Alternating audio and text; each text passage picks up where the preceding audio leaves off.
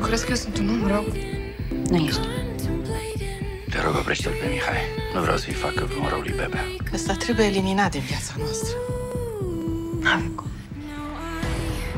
Simt că viața mea s-a sfârșit. Nu m-am gândit nici o clipă.